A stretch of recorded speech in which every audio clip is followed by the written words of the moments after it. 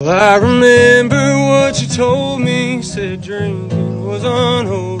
So, Lord, can you point me to the creek?